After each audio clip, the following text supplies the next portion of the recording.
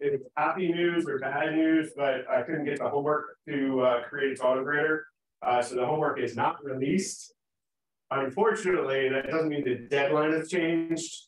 So uh, I will, I'm going to try to do it right after this class, uh, but you, can expect it by like 9 a.m. tomorrow. Um, and so it will be there as soon as I get it out. Uh, project two, I also decided to delay it a little bit because of the challenges we had last week. Um, and I want to make sure that it's actually working correctly. So expect the project, sorry, uh, did I say project two? I meant to say project one um, will be released uh, on Tuesday of next week. Um, and so we should expect that to, to, bump out a little bit. We're coming up on spring break though, so uh, that tends to mess things up because I don't like to put any any work to be done kind of over spring break. So uh, it will likely finish before then. Any questions? All right, there should be a piazza poll for an uh, attendance. Let's say today's number is four. So four um, you will have a little bit of time to fill in the poll. Uh, one thing I want to caution you on though, if you get the bright idea of being not here and then getting a text or something from your friend with what the number is, uh, we will still do in-person attendance sometimes. Uh, so as a result, please don't uh, pass that information on to people who are not physically here. Any other questions? Is the deadline like Yeah, I think I think I sent them all up to midnight basically, but it should tell you in Gradescope. Says uh, like today at three thirty. So it's oh, is it by three thirty? Yeah. Okay, so it's whatever Gradescope says. I, I make it all up at the beginning and then I forget. Um, so you do have a 10% penalty on being late for 24 hours or whatever. Yeah, if, if you haven't noticed already, uh, once I like write something down, I basically got my brain. So asking me is usually way less efficient than just looking it up. All right, any other questions? Oh, I throw the other thing I want to show you. Okay, I'm gonna do something a little uglier. I will, uh, I meant to put these in the slides, but I didn't get a chance because we, uh, I was fighting with uh, the auto grader no, that, that's like this is a total thing. Yeah. Okay, so I will put a link to this directly in the slides. Um, but if you Google, and it's important that you get these words correct, okay? So data science as all one word, Python, and then module. So all those, you know, toolboxes that I talked about before, in Python, those are called modules. Um, and so there's a particular module we've been using called the data science module. And what sometimes it is very useful to look at its actual doc, uh, documentation. But the reason I clarify, so if you say data space science and Python modules, it'll be like result on six, you know, page six. Okay, so if you, but if you get the spacing right and sort of drop the S and stuff, you'll usually find it in the first page if you blew it. I will also give you a link. Um, but I just wanted to show you this real quick. Um, because you're getting to the point where you are doing things in Python that you haven't seen yet. Um, either I haven't given a lecture about it yet, it may not even be in the textbook. Um, and so sometimes you have to go kind of look up the answer, or you did see it and you've forgotten, or you're not 100% sure what the exact syntax is. So like I had a, at least one question in office hours, for example, the difference between with column and with columns and the difference between those two. Um, and if they had realized that there was a difference, uh, they would have immediately seen the problem they were having. Um, so the reason I'm showing you this is because this is the documentation for that component that we're using. So in other words, it's like an instruction man, man instruction manual for like your electric drill, right? So you need to know how to like, you know, attach drill bits. This is what you would go and look at. The one thing I'll comment on with this particular set of documentation, oh, and another thing is um, it's called documentation. I will 99.9% of the time say doc or docs, okay? Uh, but what I mean is documentation. So one of the things about this particular set of documentation is that uh, it's very it's very tutorial oriented. So almost like it can kind of teach you how to use the thing, but sometimes you just want the answer, right? And you want to just be able to like scan like the difference between with column and with columns. Or another question we got today was um, uh, they wanted to essentially replace a column. Okay, so like you want to look for the word replace, and that wasn't the name of the method, so you need to find that, right? So these are great, but they're kind of tutorial oriented. So, but if you look the ones down here at the bottom, this takes you to the actual documentation for that particular tool, right? And so you can see here, right here, for example, is with column and with columns. And it gives you kind of a brief description of the two differences. So that might be enough 90% of the time. And then sometimes you want something that's a little bit more complete. And so in here, it'll have uh, what are the arguments mean to the method, but then also like uh, what it returns. And then usually there'll be a little bit of example code about how to use it. Okay, does that make sense? All right, so now bear in mind, this documentation is very uh, beginner oriented. Okay, the other thing that we're using is a module called Do we know? The other big one we're using? NumPy? NumPy. Uh, and it is normally pronounced NumPy. Um, I don't know how else you would pronounce it, but if there are other ways, I don't know if they are incorrect. Um, so they have they have redone this uh, documentation since I've been here last. Uh, so again, they have kind of like a tutorial focused model kind of here, like this beginner guide, or sorry, getting started, and this, oh, sorry. Then this like user guide, um, but I usually use this API reference, which they didn't used to call that. That's why I had trouble finding it. And then, for example, if I wanted to know how to use the average function, then I would go up in the search box up there and just type in average. And usually you'll get type ahead that'll help you complete it if you can type it all. Oh yeah. And it's like I said, they, they've changed it around, so I'm not 100% sure. Okay, so here's NumPy average. Um, this is, I would say, a little bit more, you know, kind of cryptic, a little bit more straight, long time programmer focused, but it's not bad. And I believe for most of these, they still also have examples, um, some like here in the code, okay, of how to use the thing. So just, these are really good resources for when you aren't 100% sure if you remember what does this thing do and how does it work, okay? Um, and this is kind of jokingly, but seriously, why it's so hard to do any kind of programming without internet access, okay? I almost never like I, I used to try to code on a plane when I was traveling as a consultant a lot. And I had these grand plans of this thing I was going to build and all this stuff I was going to work on. Then I'd get on the plane and then for whatever reason, the Wi-Fi would be out or it didn't exist on that particular plane. And I was basically stuck for the rest of the trip because I need to look up something because I couldn't remember how to do it.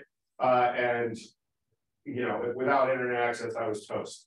So strongly recommend like the way a lot of programmers work is um, this is actually one of the reasons I use multiple desktops a lot is you kind of have your code window on one screen, right? And then on the other one, you have like 16 pieces of documentation open. I have a whole browser set of tabs, right? With Stack Overflow and Google and you know everything else that I'm searching for because I keep looking up one little thing. Then I have to remember to go back and clean all those up because otherwise I end up with six million tabs um, which, you know, just as a, I can find my mouse again. So, you know, just for example, right, that's one of my windows in one of my Firefox profiles at any given time, right? As you can see, it's green, that means it's BU related. I don't know why I chose green, uh, which is different from personal, which is blue and which is different from presentation, which you, you usually see, which is what would you call that, like a pink, maybe? Um, I don't know, some color. So, make sense everybody? Like I said, I'll put direct links in the slides uh, and or Piazza. We're working on like a resources guide too that we'd like to post, but it's not done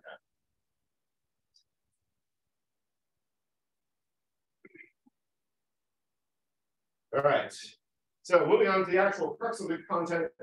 Um, so this is a little bit on the subject of uh, what I've referenced in the past as bull shrimp. Okay.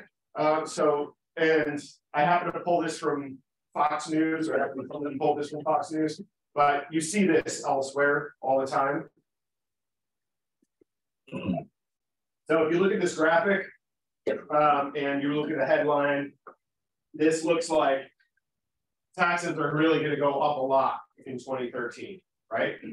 Just by the scale of the little bar. Okay. Um, and I know the resolution is complete garbage, so I you know apologize. But as you can see, that's that's what they're trying to convey, right? So they are sending a message here in this news story. Mind you, don't forget Fox News uh, actually won a lawsuit by saying that all of their content is not news, that it's entertainment. That's how they won a lawsuit. Uh, so, uh, you know, whatever they that's are clearly trying to show an opinion, right? Because, and I'm sure you can't read this because, like I said, the resolution is garbage, but that says 35%, that says 39.6%, whatever it is over there. If you look at it with the full y-axis, that has a very different impression, right? Than it does with this, where they just slice the top off. Okay, so, you know, I, I regularly, I don't know how much I brought it up in this class, right? But there's lies, damn lies, and statistics. Okay. It's a famous quote that I want to say Mark Twain, but I could be misquoting. Um, and so they're basically they are they are giving a, a feeling based on correct data that they are presenting in such a way that you you probably come away with an incorrect understanding. That makes sense? Okay. We'll have another example of that later. Uh, but going back to distributions. Um, so I also just, as you probably noticed, I changed the uh, format of the theme. So it was a little bit more accessible. Uh, if you're ever doing uh, content for a presentation, um, dark color on light color is much more accessible for most people because it's easier to read. Um, and if you ever are doing dark color, and I actually do do this even when I use a dark color slide, um, you should use a larger font with the light color fonts uh, because it's harder to read and so you need something bigger. So I finally fixed the theme. The problem is it's the same slides, so it may not be 100% accurate on where the positioning is and stuff. I tried to fix them all, but I may not. So we'll see. Um, so just calling, calling out, most of these we've talked about already. Uh, but individuals, those whose features are recorded, okay? And a feature is a characteristic, okay? So when we, we talk about uh, the tables that we've been showing, you know, each of those columns for any given row, that's one of the features, okay? Um, and a variable a feature and attribute or an attribute um, and a variable has different values. So this is where one of those name collisions comes in. So when we talk about it in kind of the data science or mathematical sense or whatever, this is what a variable means. But then when we talk about it in a programming perspective, it means like the handle or a name for a particular value. Excuse me. They are actually very, very similar. So you can kind of see why the word is used in both places, but they do have technically different, different definitions.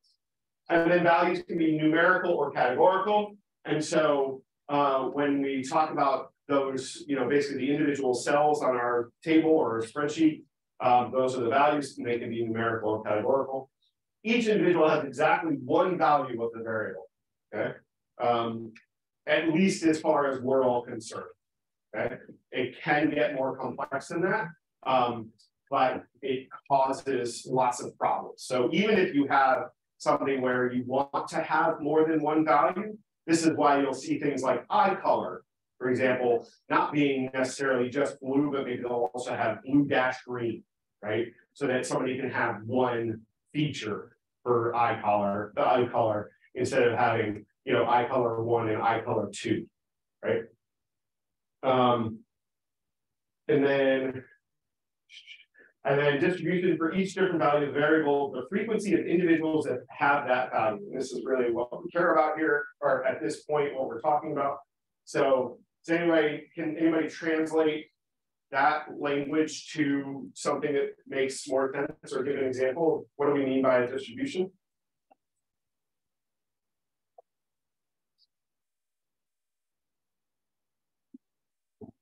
Anyone?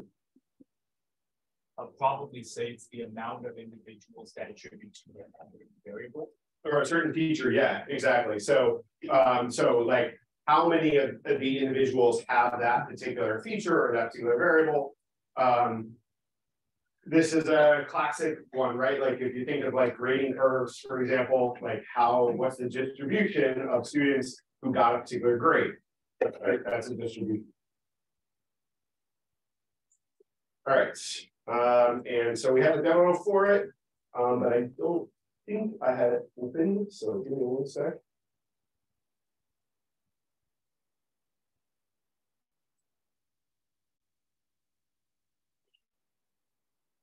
Or longer than that.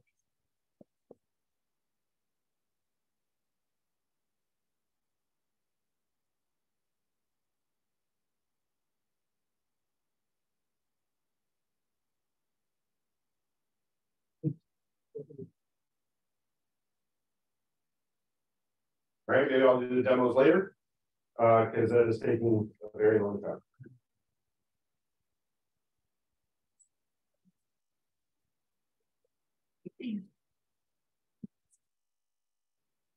All right, so we'll come back to that. Um, all right, so one of the things that we didn't really talk about yet, but we're, we're starting to talk about now is kind of the other kinds of, of charts, right? So we had a plot and a scatter that both we use with um, kind of uh, numerical data types, right? So things that have that are an attribute type of numerical. Um, and we have another kind, which is the categorical, and we want to visualize those things as well. You're probably familiar with bar charts. Uh, I just showed one, for example, that was a bar chart. So a bar chart, actually just go back for a second. Similar, so a bar chart here. So one of the things I want you to notice is, well, both of the columns in the chart, right? So basically the bars, okay, um, are labeled okay? And they'll often be labeled in the two different kinds of bar charts we're really going to talk about. One is this kind of bar chart, and another one's called a histogram, okay? And they both have bars, right? So the thing that you want to notice about being able to tell the difference between the two is that there's a big space here, okay? So that means that it is a bar chart and not a histogram. A histogram they're always on top of each other. And we'll talk about why, or right next to each other. There may be some like line showing you the difference between the two, so it can have labeling on the bottom, but it won't have this big gap, okay? Or even a small gap.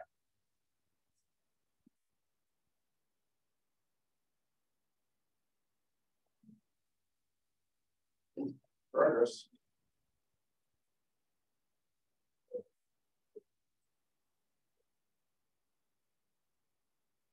We know that is one. Um, and but when we're looking at a bar chart, one axis is categorical and one numerical. So I showed you a bar chart, right, which is what we think of typically with bar charts, where basically the bars are going upwards. In lecture, primarily, somewhat in the homeworks and the labs and stuff, we often use bar charts that look like this. Okay, so they go out to the side. They're no different. It's just a layout thing so that you can like read it better. Um, and usually when I'm trying to fit it on a slide, a vertical bar chart doesn't work as well, so I'll use horizontal bar charts. Okay, but they're essentially, I mean, they are exactly the same. It's just, you know, whether they're kind of like rotated around.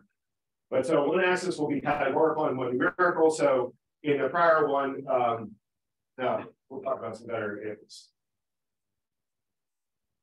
Okay, so now, when we want to look at a distribution, we're going to use something called a histogram. And so the distribution of a variable, um, you know, for example, the studios, which is in the demo you haven't seen yet, um, describes the frequencies of its different values. Um, and the group method counts the number of rows for each value in the column. So all, somewhat independently, we have a histogram, which kind of displays those groupings, but group can kind of be used on its own to say, hey, I want to know what all the ice cream flavors are, or like, you know, how many of each chocolate ice cream, ice creams do I have, right? So, or let's say, how many different flavors do I have and what's the count of each flavor type? So I can use another method called group. And I will extra, extra highlight the little magnifying glass on this. For some reason, invariably, whenever we're teaching this class, um, group is the method that people always forget and don't realize exists and is uh, commonly an answer to, or at least a step in many questions. So you, you know, just make sure you kind of take note of that and make sure you look it up, make sure you understand what it is. Um, and so bar charts can display the distribution of a categorical variable. Um, and studio, sorry, this is movie studios from the example that we'll talk about in a bit. Um, and one bar for each category, and the length of the bar is the count of individuals in that category, and you can choose the order of the bars. Um, sorry, this is yeah. Okay. See if we made any progress on getting us to see the load.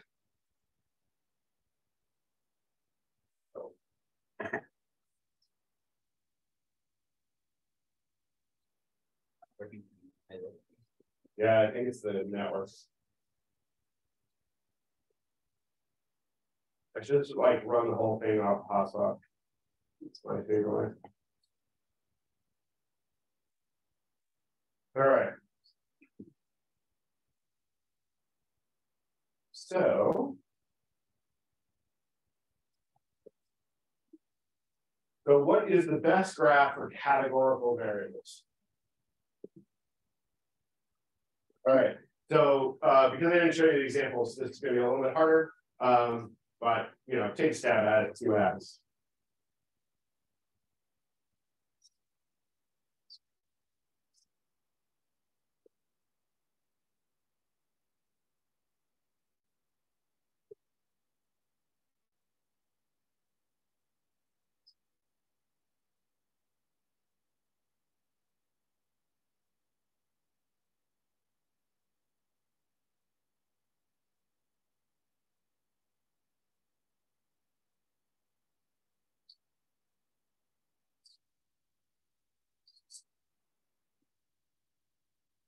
Right, get those answers in.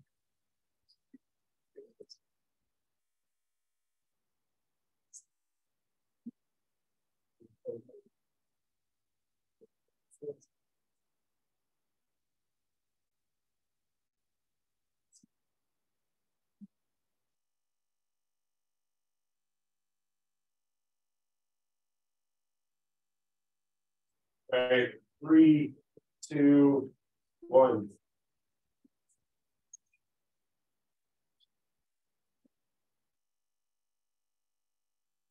All right, so the correct answer was bar graph. Um, histogram really shows the frequency of the distribution for um, categorical variables, but we're going to show it gets a little bit more complicated than that. And in fact, we're going to show it right in. So sometimes you want to categorize numbers. Okay, can anybody think of an example of why I might want to categorize numbers? Make it easy to find patterns. Yeah, to find patterns, but I guess give me an example of one of those things. An age range or something? Age range is a classic one, right? So, you know, you want to know everybody who's like, you know, 10 to 19, and then one that's 20 to, you know, 29, et cetera. Um, and so that way you can you can put them kind of in buckets or intuitively bins uh, and uh, kind of go from there. And we can actually count based on the bins instead of the individual units. That way I can make categories out of it. And so now I can treat a number like an age. So that is a numerical attribute, right? But I can treat it like a categorical one by categorizing. And if I really wanted to, right, I can take like the census data, for example, and I can categorize by one thing. It just seems a little bit weird, right? So normally you do groupings. Um, so does how many people here uh, use bin for track canning?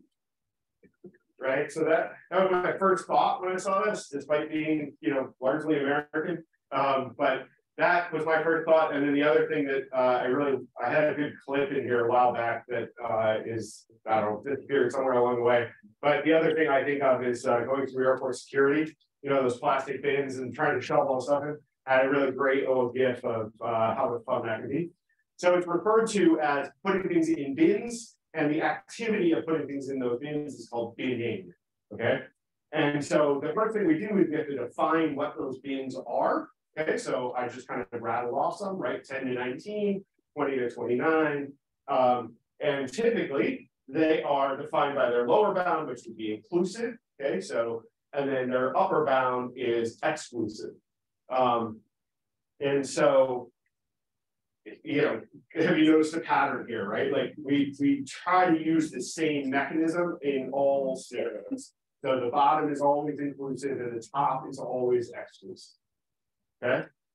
So uh, now we have uh, what I thought was a fun little game. I will definitely admit it's a stupid little game. Um, but so if we wanted to categorize uh, this series of numbers, we don't know what they are, doesn't really matter. Um, but here are our bins. Each bin is uh, basically five, right? So where does my 188 go? Do I have an answer? You had it. What is it? The top end, just you can also just tell me the range. Oh, yeah, uh, one and eight five. The 190, yeah. so, and then see, it's an awesome build slide. So look at that. Uh, I just like to show off my PowerPoint skills. Um, all right, and then so 170.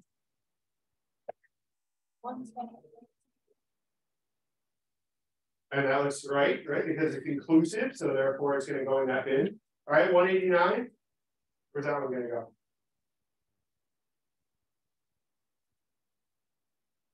All right, come on, all one shade. All right, you got it? All right. Cool, all right. Um, and then uh, whatever, 163, I think that was easy, right? Because it's kind of right in the middle. And 183. Um, and then what about 171? Where's that gonna go? Okay. And then 185.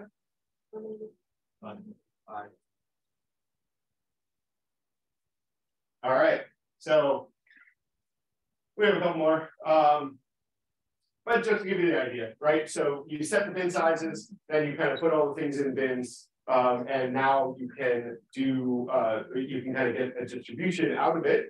And if you actually look at this picture, this is a histogram, right? It's not drawn quite like a histogram, but you can see that you can actually figure out exactly how many elements are in each bin, right?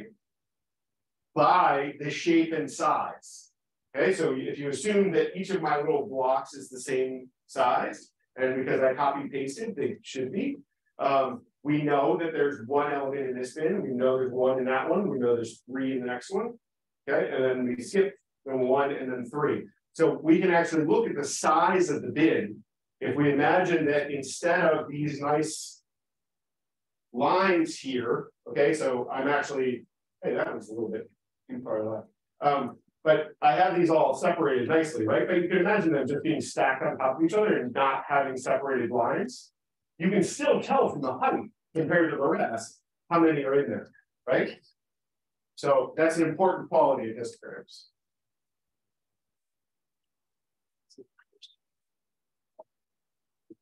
All right, so I think everything's loaded, so maybe we can. Oops. Oh, it was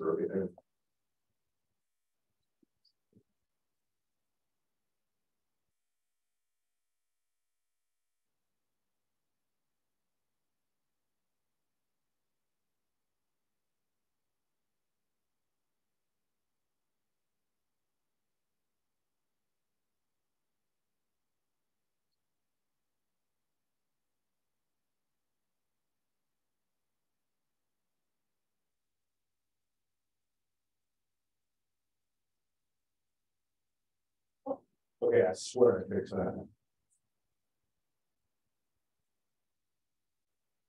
Let's make sure this is the right file. Okay, I swear I fixed it.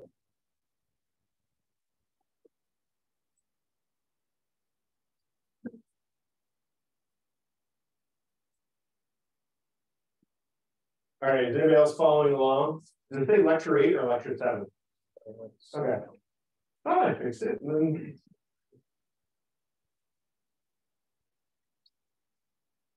All right, so. Oops.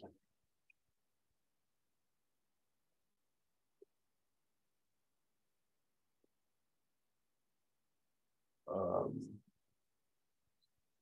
I was still thinking, okay. Uh, so basically, this is just the table. I can't remember if I showed it in the lecture already. I might have, uh, but basically, it's just a table of um, uh, movies and like how much money they made and what year they came out. Um, and I want to say this is in millions of dollars. I mean, it's in, it's not like, it's uh, it's just normal numbers instead of like millions or something, which would be easier to read. Um, but so that's gross, so that's you know how much it made, um, and then adjusted probably for expenses. So it's like profit versus um, gross, which so it should really be called net.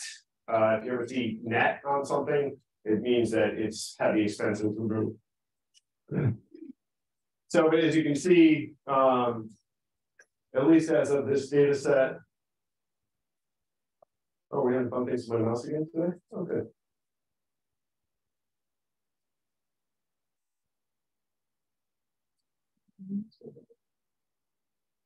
Okay, so as you can see, um, you know, we have a bunch of movies. You've probably heard of most of them, maybe even seen some of them. We have the movie studio that produced it, uh, and then how much money it made and what year it came out.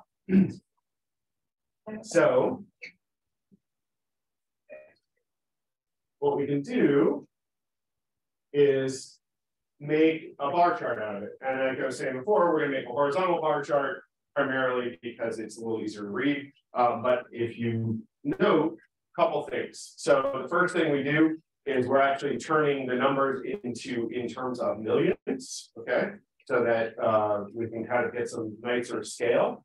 Um,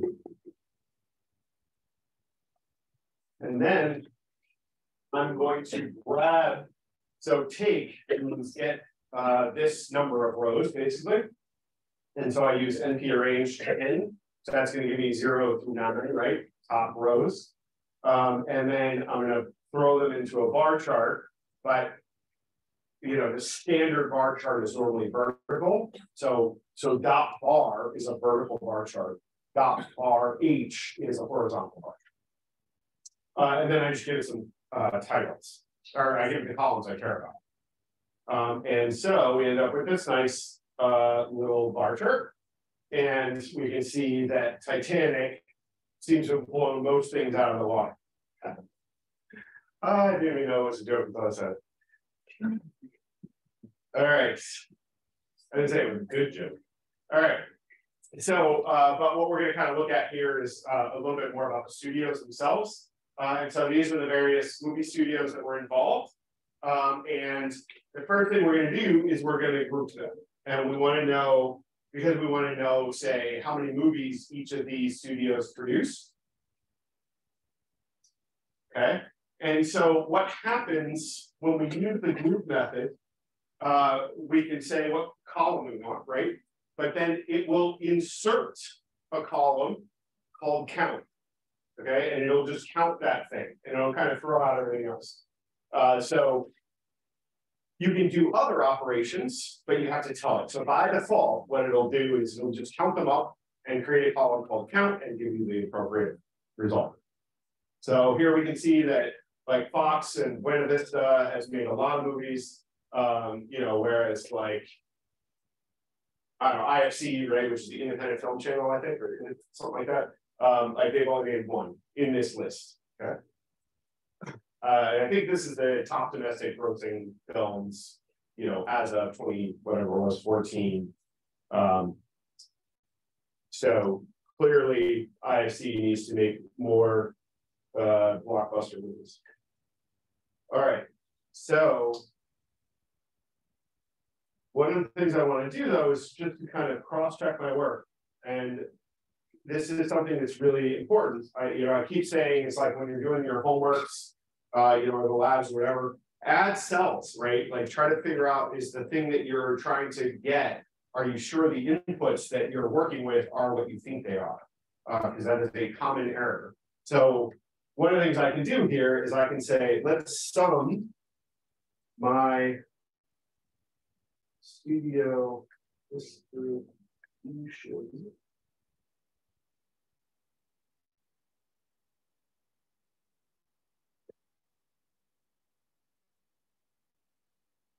So I want to point out a couple things here. So, uh, so what we did was we uh, did that grouping, we shoved it into studio distribution, which counts up all of the movies. So first of all, what do you think this result will be? What will the sum be? Or what should it be if there's no all the numbers in the count column add together. Right, but what's what's the value gonna be compared to the actual uh data table? Uh, I think it's higher than that, isn't it? Uh, oh, yeah, uh, yeah. so this is, this is why I try to point that out. Um. Omitted rows, so you read the hundred and ninety, which is the part that says rows omitted. Um, there's always ten above it, so you know that it's two hundred. Um, but yeah, so two hundred is the answer, but another way to think about the answer is it should be the same number of movies that we had. Uh, in the initial table, right? The grouping shouldn't change how many total movies we have, right? So when I run that, I get a sum of two hundred, so that looks right. And so the reason I pointed out, right, is just a good way to cross check. Did I group it the way I think I did, right? Um, okay, so now.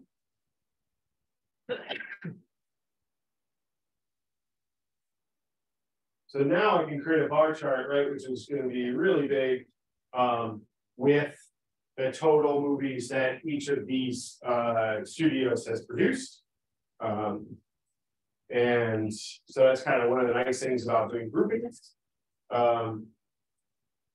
Next thing I was gonna show was. Um, and then more usefully.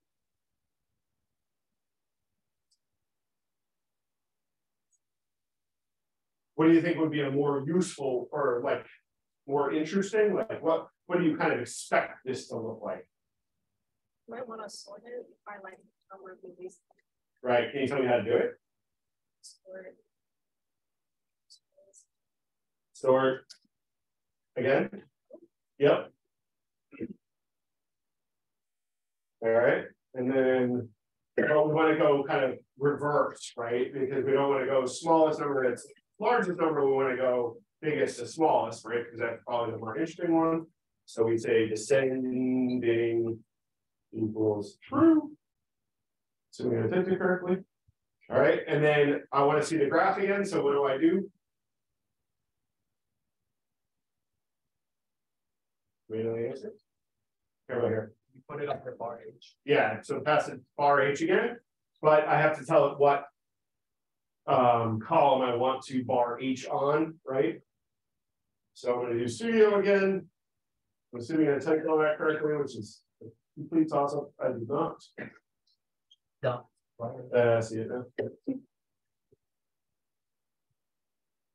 All right, and that's kind of what we wanted to find out, right? So Buena Vista definitely does a good job of making blockbuster movies. So does Warner Brothers and Paramount and Fox. They're actually all pretty close, and then they kind of drop off pretty fast. I think it's kind of interesting. All right, so I think it says to go to the slides now, but we're gonna keep going. And so if we want to look at a numerical distribution. So.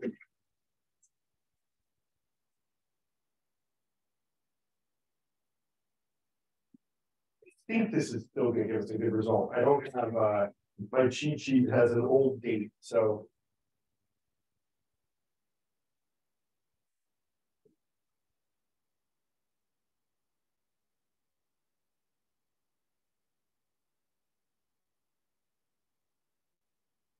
Okay, so we went back to our original data set and we said, all right, let's look at the top movies column year, right? Subtract that from 2023. So what's that going to tell me, right? It's going to give me the age of that movie. Um, and so then I can say, okay, now I have all those ages for what, you know, how long ago it was produced. Uh, and then uh, we're going to add that actually to the table itself. And now I can see kind of from a different perspective. And remember, the sorting wasn't given, so we didn't tell it what to sort by. But we can see Gone with the Wind, right? Very old. Um, most of these are quite old now, like so 48 years for Jaws, which still kind of blows my mind. Um, Titanic, even, which was 26 years ago now, uh, which makes me feel old. Um, but so that's kind of the idea. But now I can kind of say, okay, how old are those movies? Um, and that's treating it as a numerical distribution. But now let's think about how we can treat it as a uh, categorical distribution. So we are going to do binning. And so when we want to figure out the bins for something, we what's the first thing we kind of need to know, given that we don't actually know what the data is, or let's say we don't know what the data is.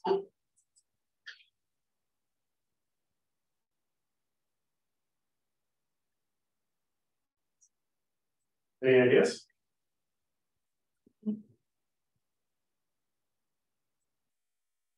Any other ideas?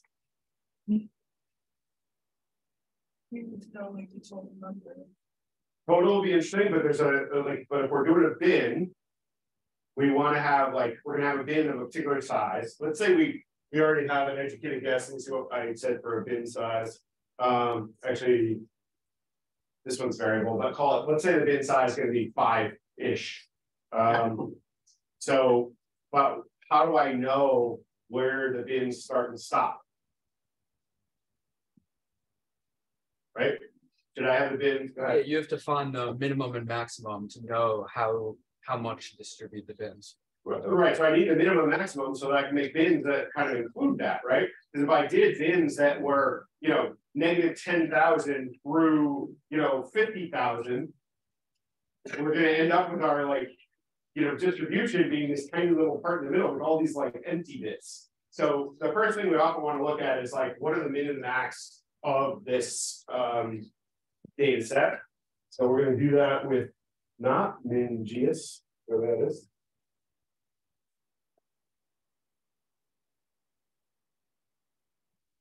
And just to show you another quick trick, um, so far, most of you have been uh, displaying something. I just kind of leave it there on the line by itself.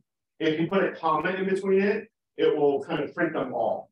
Okay, so you can keep adding commas. Um, and so in this case, I did that with min and max, and so I get one or the I guess the youngest movie is six years old, right? And the oldest movie is 102 years old. So, but for the sake of making this slightly more interesting from a data perspective,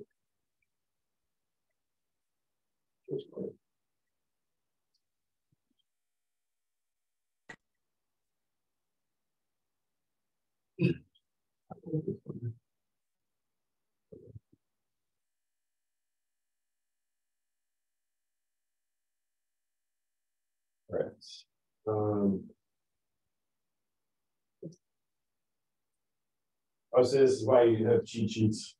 Um, so I'm going to make the bins slightly arbitrary because what I'm, let's say I'm interested in is knowing kind of recency. So let's do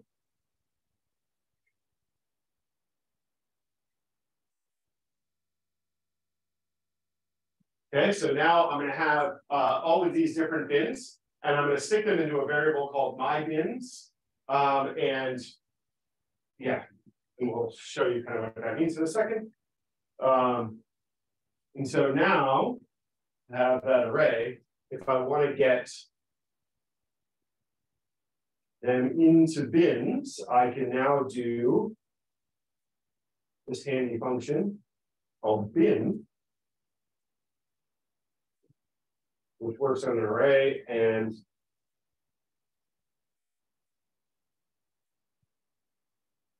Okay, and.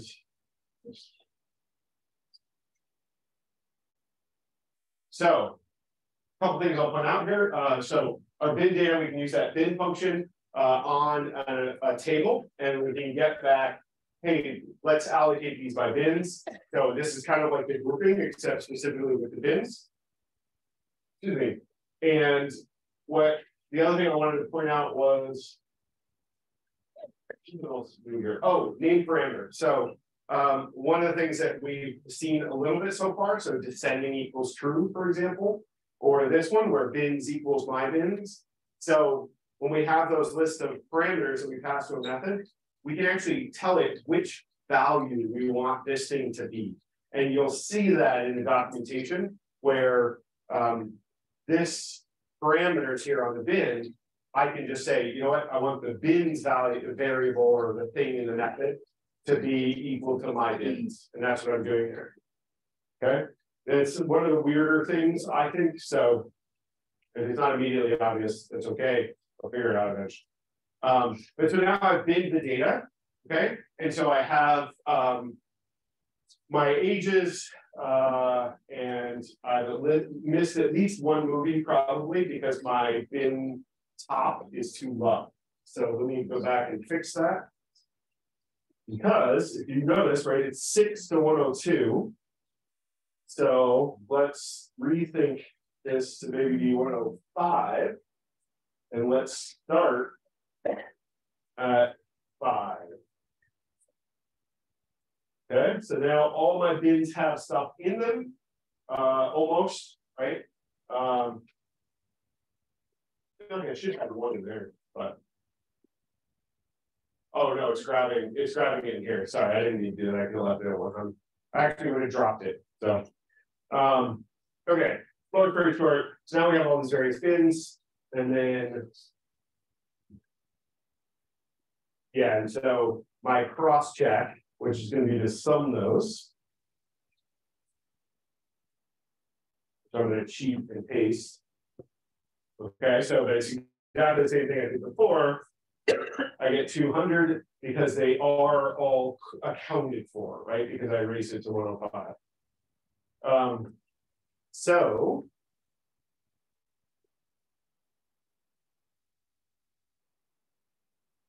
But so the easier way would have been just to use NP arange, um, but we can do something slightly more sophisticated. But this one.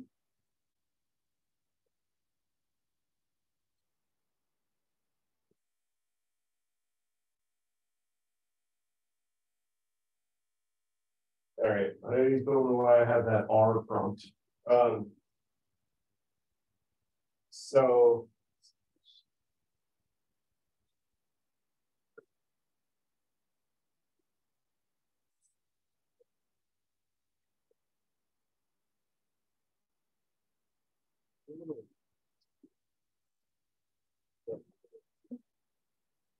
All right, so this is gonna be different bins, but as you can see, right, I can use NP arange there and I can use something that is kind of a little easier. Um, so a lot of people get nervous when you use bin sizes that are not consistent for kind of the same reasons we were showing earlier in the slides, is that it, it kind of feels a little bit like you're misrepresenting things when a bin size is one is like way bigger than the others. So it may appear that um, there's you know more or less movies in that period of time.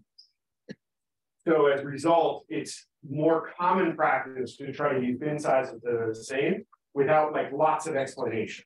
Okay, it is often very valuable to not do that, but you want to just make sure it's very clear why you're doing it. So, um, yeah, so this just does a new array and attaches it to bins, and it does it from zero to 102, stepping by 25. Okay. So, to the histograms.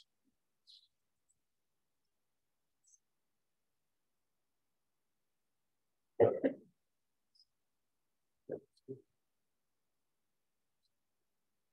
right, so just as a way of remembering it, um, we should still have the old values in my bins, which we do. So now we can use this convenient function similar to the bar uh, called hist or histogram. Um, and as you can see the differences, like I said, one of the big iconic graphical differences is the gap between the bars is very small, if not at all, okay? Uh, and that indicates to you that it's a histogram.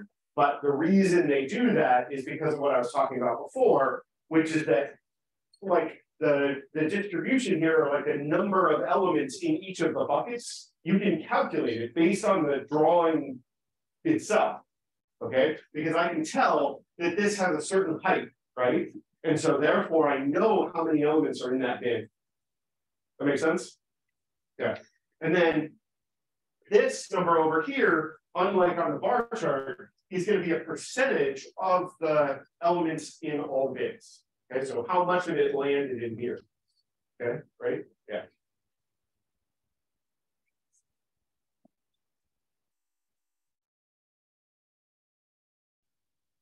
So, so that's our. This is much harder.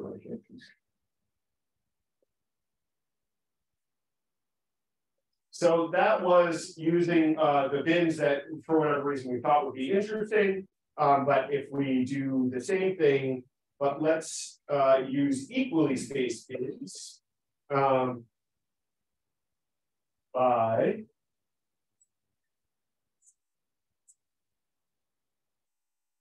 bins equals NP range, and I'm just going to make this simple by doing, uh, let's do five to one ten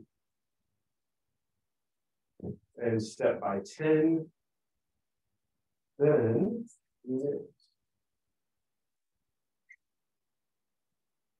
Okay, and so um, basically we just changed the bins, right? But there's the same amount of data in there, all that stuff. The distribution is the same-ish, right? It's just that where it's distributed is slightly different because we've allocated the bins more evenly. Um, and so I specified basically a bin size of 10 in there, right? If you notice, that's what that step is. So that's the bin size. However, we can be even lazier by not specifying a bin at all. But I do have to specify what thing I'm trying to look for the distribution of, and that's what unit is. By just not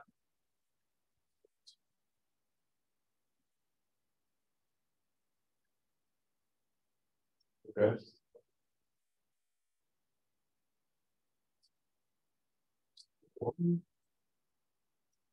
Last, of course.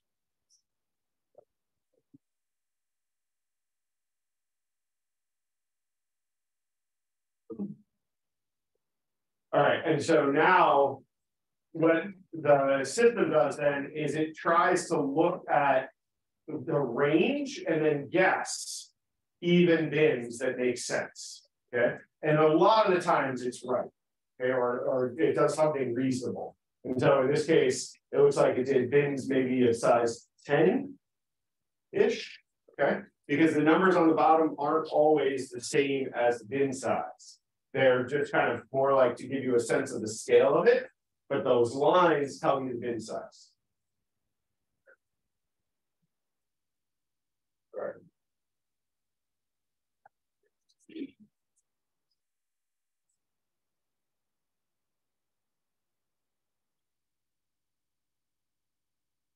Um, let me see.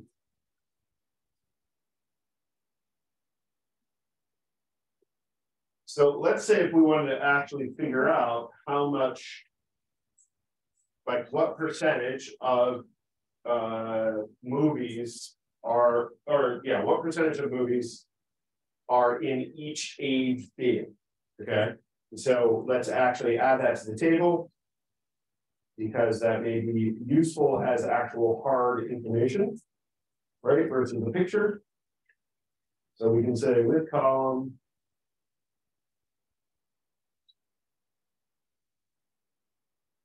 and we can calculate it.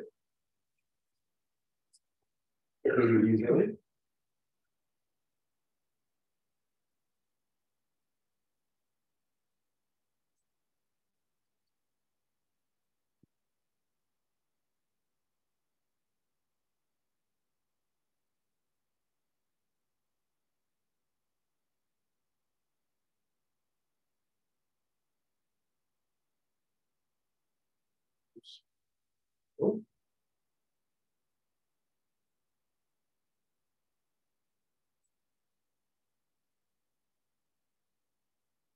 Okay, so now I can see how many of those.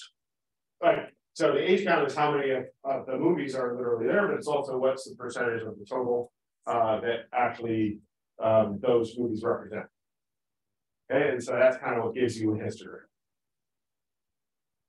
Let's see what. Yeah. So let's make this slide for a minute. All right. And so what we call that thing is the area principle. Um, and we're a little out of order, so this could have happened earlier, but the upper bounds, the blank of the next in, what is blank?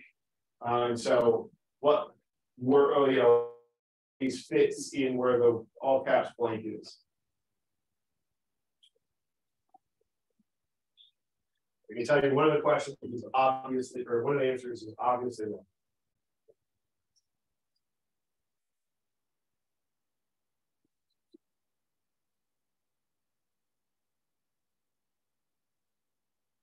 All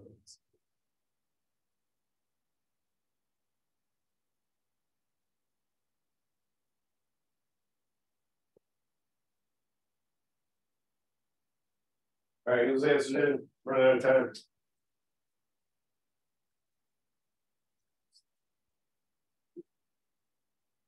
All right, maybe I should make the five percent who chose one of the answers stand up. What do? All right, so there's the responses. We have four people who chose the last answer. Um, but yeah, so uh, the upper bound is the lower bound of the next bit. Okay, because of the inclusive exclusive. All right. So. Oh, that did not reformat. All right, so that should say, what is wrong with this picture? Uh, this is one of those, the theme changed and it didn't update it correctly. Um, so what do you think? Any ideas? Same image, but magnified Okay, so that means, a little bigger than it's the, it's the same as the previous iPad battery and the new iPad battery are essentially the same, but the new iPad battery is bigger size. yes, but is it hundred percent bigger? If we're going off that, that's way more than hundred percent bigger. Yeah, it's actually more like four hundred percent bigger. Okay, um, because even though our kind of eyes look at it and we kind of treat these as um, like it, it kind of just looks bigger, right? Because it's the same graphics just blown up, right? But if you actually try to stack this in here, it's it's pretty close to 400% bigger. Drawing may not be the best in the world, but you get the idea. If you put this thing in there, right, and you put another one right there, you can put another one up there, and then another one over there, right? So the scale isn't quite right. And so basically the area principle here is the area should be proportional to the values they represent. So the question here is um, which one of these is double the uh, the A? Okay, so is the answer B or C? And I think it's kind of obvious from the graphic, right? That when you're talking about this, that that kind of blowing it up on all dimensions doesn't actually make it double. It actually it will often quadruple it, depending on kind of how you're doing your your scaling. Um, so just kind of keep that in mind that you've got to make sure that they are remaining accurate. Right, let's see what else we have to finish. All right, so a histogram is a chart that displays the distribution of a numerical value for attribute uses bins. there's one bar corresponding to each bin, and it uses the area principle. So the area of each bar is the percent of individuals in the corresponding bin. Okay, and when we say area in this sense, we mean like mathematical area. So if you draw a square, right, and calculate the area of the square or rectangle, I guess, um, that's how many individuals will be there. And don't know if we'll really get to it today. Um, this.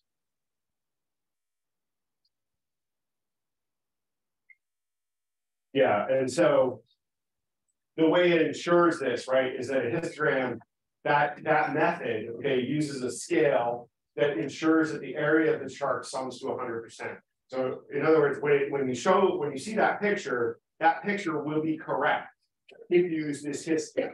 You gotta be a little careful, right? Because you might be, I don't know, drawing it by hand, or you want to draw it using some other mechanism. You just gotta be careful that you're, because you should be able to rely on the picture being measured, like you pull out a ruler, you go like calculate exactly how many individuals are in each thing. Um, the horizontal axis is the number, uh, and the bin sizes don't have to be equal to each other, but like I said, it's conventional to do so. And vertical axis is a rate or so like a percent per year.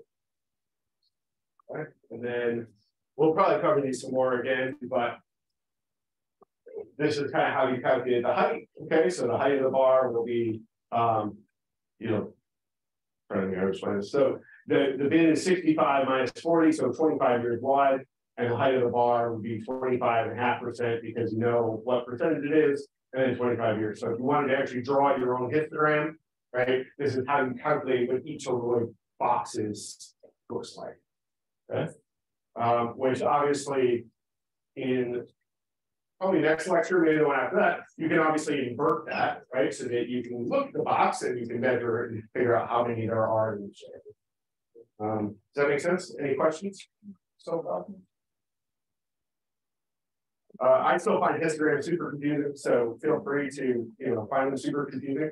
Uh, they are really, really useful though. So um, once you kind of get the hang of how they work, you can kind of glance at something and really get a good sense of like distribution or, or kind of where the allocation is.